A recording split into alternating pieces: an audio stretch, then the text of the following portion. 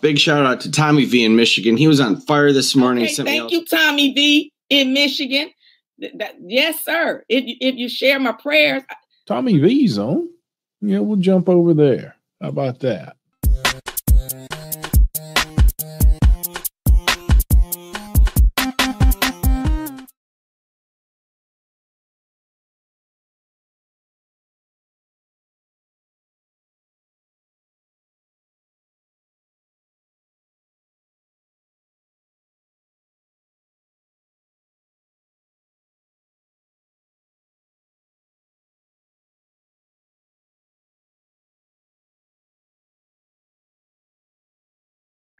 Call your name. Ikea Boykin. Calling case two four zero five five six seven zero zero one. The people of the state of Michigan versus Shakia Boyd. Def- Defendant is charged with count one, assault with intent to do great bodily harm, less than murder or by strangulation. Count two, stalking, aggravated, habitual offender, fourth offender's notice. Today is the date and time set for bond determination. Appearances, please. Jennifer Douglas for the people, P seven two seven four eight. For Reagan on behalf of Ms. Boykin, Your Honor. Argument. Judge Ms. Boykin's thirty-seven. She does have uh some priors. Um, she's a uh, lifetime resident of this area. Judge lives in the city, has strong ties to the city. Uh, not working right now. Judge does suffer from some some uh some uh medical and or mental uh conditions, Your Honor. Uh, this particular case, Judge, um, you know, this is this comes down to an identification thing. I think judges. There's no video about this. You have one witness uh, says one thing, another witness that may say something else. Um, you know, she, my client, professes her innocence, says she never, never touched him at all. Um, you know, so obviously this is a case that's going to have to matriculate. The bond is thirty thousand cash. GPS tether, house arrest. It is unaffordable. I think the court could, in this particular case, uh, keep keep the complaining witness safe by issuing the tether with the house arrest. But I think a personal bond could uh, suffice in this particular case, Judge. And and the bond is three hundred thousand. Thirty thousand cash. Thirty thousand. All right, continue. So I'm asking for a reduction of thirty thousand personal GPS to the house arrest. Your Honor. Ms. Douglas. Your Honor, we're asking for that bond to stay the same. Um, we don't believe that this is a identity issue. The she was uh, Miss Boykin was still there at the location when the police responded. Um, so it's not just uh somebody saying one thing, maybe somebody else is saying something else. Also, there was a PPO involved here. Um, so the the victim does know who she is. Uh, the PPO was served um, November 7th of last year. Um, she not wasn't supposed to be at that location or uh, by the complaining witness. And so, Your Honor, considering that the complaining witness is in his 70s, um, she does have uh, prior assaultive convictions, a 2005 felonious assault, a 2014 felonious assault, um, and considering that somebody else, not just the complaining witness, says that she pushed him into the street as somebody in their 70s, uh, 79. Um, Your Honor, we do think that there's a danger there. Um, seeing as how a PPO has allegedly not protected the complaining witness, we don't see why um, a court order uh, by itself is going to protect him. There's also, I saw um, in, on the uh, website that there's actually a pending case, the case number 230599797. Um, I don't know why she wasn't arraigned on it. It's showing it was authorized November November 6th of 23, although the date of offense is listed as August 17th. Um, and that's a FA. So I'm not sure why she wasn't arraigned on that yet. Um, but Your Honor, she has history of uh, assaultive uh, contact. Um, and she's accused of that here, and she was actually still there when the police showed up. So we do think there's a danger if she will allegedly not comply with the PPO. And, and Judge, I don't know the, the history of the, you know, I know it seems like a strange relationship. I don't know what the real relationship is between the complainant and my client. Um, I don't think that there is a, a, a romantic relationship. Um, I, it just, it's a little bit odd, but, um, again, Judge, I don't know about a PPO. I don't know the history of that. I don't know if it was a, a situation where he was allowing her to come back around or telling her to come back or they were dealing with business issues or whatever. But, um, you know, I just think the court in this case could, could, could, uh, make the complaint safe by issuing a tether and, and house arrest. Court haven't heard the arguments of counsel. Bond, uh, court finds for thirty thousand dollar cash bond is non-affordable bond. Bond is going to be reduced to thirty thousand personal, house arrest, um, medical appointments, court appearances only for release. The no contact provision will, will continue. Thank you. Thank you. What's gonna happen? I'm gonna tell you, Miss, Miss, Miss, uh, Boykin. When is her next court date? When is her next court date? One second.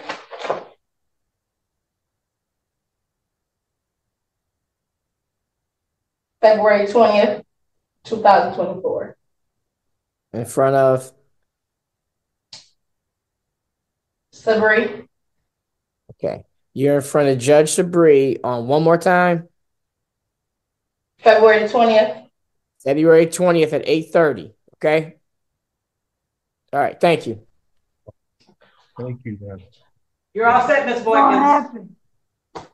You're gonna get a that? Tether. You're gonna get a tether. You gotta stay in the house, Miss Boykin. You can't leave the house, okay? Once you get So, the tether, you're gonna release and get a tether. Go home and you gotta stay in the house, okay? so, uh, it'll be a few days where I can get a tether. Yes. Probably, probably, yes. Okay, well, okay, like the thing with the tether, like y'all just be putting like anybody's fucking address. Like, can y'all give me time to find out what ad- whose address I'm gonna use? Yes. Well, yeah, you, you have to do. You have to give them an address. Somebody's who you want, where you're gonna be. You give them the address. Okay, You give them the address, okay? All Okay. right, all right, Miss Miss Miss Boykin. Take care. Know how y'all be with that stuff, Re- Phil. I'm Just sorry. any- but you know how you guys get. You Right, get- right. No, just any Any address. address. Yeah, anybody. Just, just, just. Case number two four zero five six eight three nine zero one. People State of Michigan versus Shakia Boykin. Appearances, please. Jennifer Douglas for the people, P seven two seven four eight. Yes, Your Honor. Brandon Byrd on behalf of Shakia Boykin. My client waives her right to the formal reading, was advised her constitutional rights, and will stand mute. Court rules not guilty plea on behalf of Ms. Boykin. Argument is the bond. Ms. Douglas. Your Honor, Ms. Boykin, the people are asking for a bond of seventy-five thousand cash or surety with tether house arrest. We will point out that Ms. Boykin is actually remandable at this point. Um, she's been in front of the court a few times. I don't remember in front of Your Honor, uh, but she has two other pending FA cases uh, going on right now. Um, they're at circuit court level. Same complaining witness. One on one of the cases, it's a same complaining witness. So on uh, there's a case that actually dates back to 2021. Um, it wasn't charged for a couple years, but that one is pending, and that is this, that has the same complaining witness. And then there's another complaining witness who's actually an elderly gentleman who um, is a victim on the other case. She is accused of assaulting him, uh, Your Honor. And so here we have Miss Boykin allegedly assaulting the complaining witness on one of the pending cases, a person she's supposed to have no contact with at his home, a place where she's not supposed to be. Um, and she has personal bonds on the on, on the cases. And uh, having done a redetermination for Miss Boykin on at least one of her cases, um, and I argued dangerousness then, uh, she was given the benefit of the doubt. She was given a chance, and yet here we have her at the complaining witness's house, allegedly assaulting him again. So, Your Honor, um, at this point, like I say, it's remandable under MCR six point one oh six. We're not asking for a remand, but we are asking for a cash bond, seventy-five thousand cash, tether house arrest. Now, looking at the register of actions, she's supposed to have had a tether. I don't know what happened with the tether on those cases. Uh, I didn't, maybe I missed the part about what happened with the tethers. Um, but that's why we have a concern that a tether by itself isn't sufficient. Maybe Mr. Byrd has some information about what happened with the tethers on those cases. Uh, but whatever happened, it, with the situation going on, doesn't seem to have prevented further contact with this complaining witness and an alleged another alleged assault. So we're asking for seventy-five thousand cash tether house arrest. It's actually on tether, Your Honor. Um, be forthcoming. my, my, my client's actually on tether, uh, for, for coming to court. Unfortunately, she's Was homeless. out on tether when she allegedly committed the allegations in this case? Like, does that make any sense? Why would I commit assault and I'm already on tether for assault with intent to do great bodily harm? Does that make any sense? Thank you, Ms. Boykin. It doesn't make any sense to me either, Ms. Boykin. And um, that's why you're innocent unless proven guilty beyond a reasonable doubt. Um, unfortunately, she's homeless right now. 37 year old, lifelong, 37 year old resident, Your Honor. Um, on SSI, any amount of bonds going to be um, like A a remand? remand to it, it will be. Any amount of bond is going to be like a remand. Yeah, unfortunately, Okay, suffers but you mental answered my question, physical Mr. Illnesses. She's You, pregnant. you didn't answer my question. Is she was she allegedly on tether? Was she set with a tether when she allegedly committed the acts before the court? Oh, I I said yes, Your Honor. Oh, Okay, I didn't hear you. Okay, all right. I'm sorry. Go ahead, Mr. Byrd. Yep. Unfortunately, she's um pregnant per the nurse at the county. Uh, suffers from multiple physical and it, it might be dangerous for for her to to to be at the county while she's pregnant, Your. And unfortunately, with with with the position she's in and her ability to get out, um, that baby could potentially be born in jail if she's not able to get out. I do understand these are assaultive allegations. She indicates to us that she she she's being wrongly accused, and, she did make a valid point that um a valid point to to to at least influence this court that that she could potentially be innocent. But I understand we aren't at those point in the proceedings, but we're gonna ask this court potentially for a personal bond.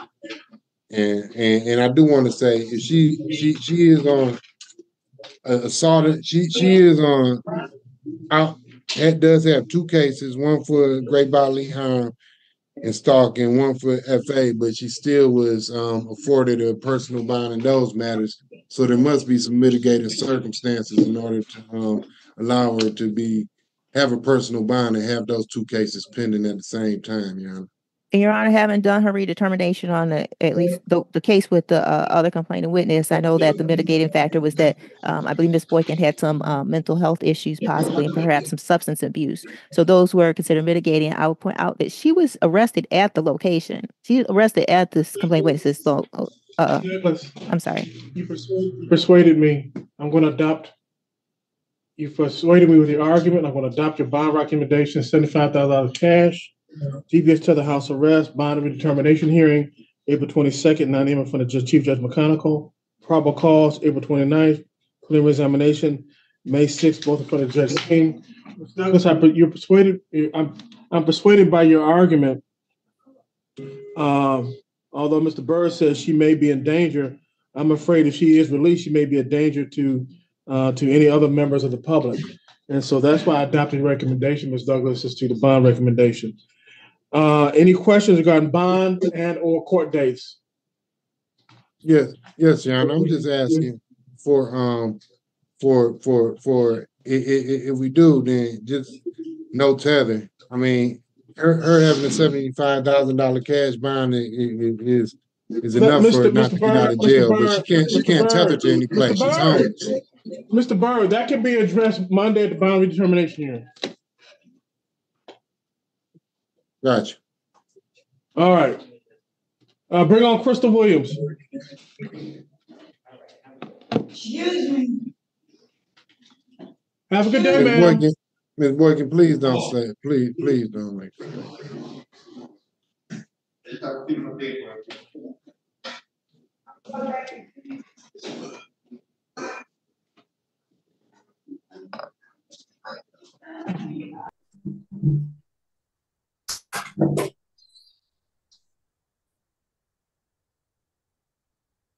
Hi, can you tell me your name?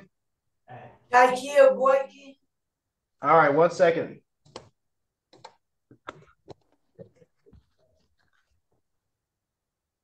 All right, this is State of Michigan versus Shakia Boykins, case 24056 83901. Today is the date set for a bond redetermination hearing. Bond is set intentionally unaffordable.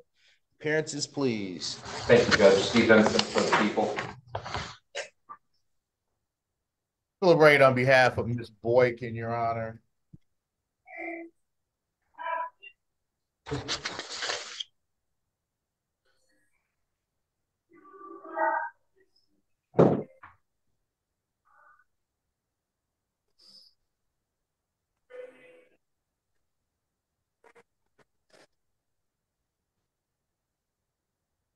All right, bond is set intentionally unaffordable. Mr. Reagan as to bond. Judge, so Miss uh Boykins, thirty-seven, Judge. She does suffer from bipolar. She's currently pregnant, Judge, right now. Uh, per the nurse, we we verified Wayne County. Um, you know, she does have a, a pending matter, Judge, with the same complaining witness. I want to be, you know, forthright. She's untethered for that. That is a case, Judge, uh, from back in it's back um actually the incident day is like August 17th of 21. It wasn't signed until November 6th of 23, it looks like. Um, and she had an- another a case judge pending from February 8th of this year um, with the same complaint judge. Um, so, you know, it, right now, Judge, she is she's you know doesn't have a place to stay. I'm going to be forthright with the court, Judge. Um, you know, she's receiving Social Security income. She can't afford seventy-five thousand dollars cash. If there's a shelter she could be tethered to, um, I would ask the court to do that because she can't go back to the uh, location with the complaint. So um, I would just ask for a a uh, reduction in bond and her be tethered to a a shelter or obviously another location other than that of Mr. Farmers. Attorney, attorney, Hey, Ms. Boykin. I, I, I, I'm on, I, I'm already on the tether. Right. just, Oh, yeah. Oh, okay. You on tether right now? oh, yeah, I just talked to my sister. My sister's gonna let me tether to her address, That's but. I'm already on tether. Okay, so just she has a place she can be tethered to. That's her sister's gonna let her go there. Thank you, Ms. Boykin, for that information. Thank you. Okay, thank you, Ms. Boykins. I've got two, um, two assault of conviction, felony assault convictions within the last fifteen years, as well as a pending, um, a pending assault. Um, this matter was not remanded, um, but I think there is a clear and convincing evidence that, um, you know, based on a sort of history, the actions that were before this, uh, court at this time, um, that there is a pattern at this point that um, no um, that that that cash bonds is the only method I have to ensure that the community is safe, in particular Mr. Farmer. So this matter, um, the bond's going to stay the same until it resolves itself. Thank you. That concludes the hearing. Thank you, Alan.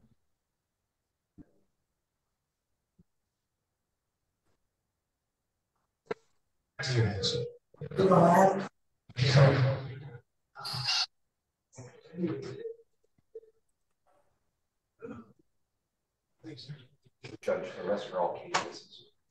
KPs. All cases. Mm-hmm. Oh, um, okay. Yeah, I was about to say. How your KPS from a Yeah. Karen's supposed to be in custody. I got you. Yeah, they're all over cases. Yeah.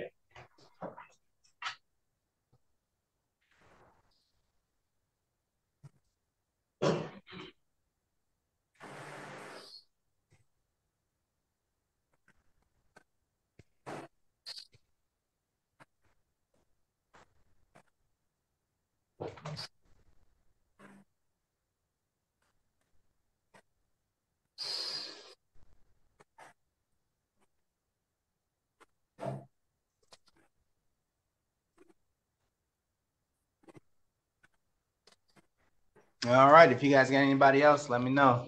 Uh, Your Honor, Mr. Effinger would like to have a breakout room with Mr. Reagan if he has a chance.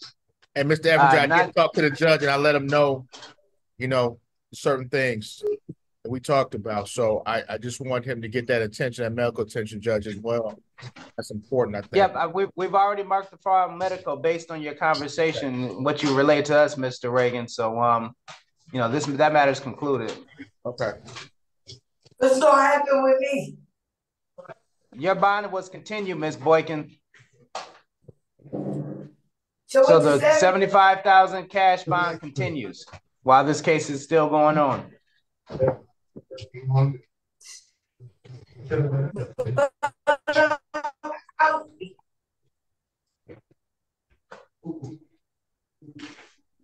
Will they interfere with my personal bond with the tether that I got? Yes, What do you mean?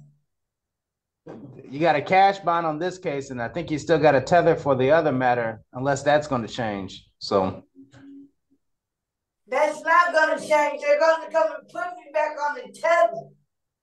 well, that's where we're at, ma'am. That, that concludes the hearing. Okay, so.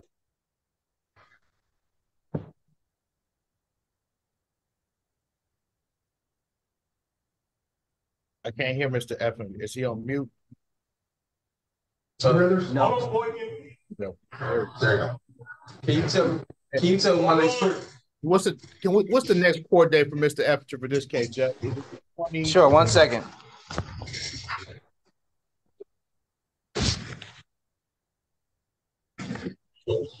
Wayne County, we're done with Ms. Boykins.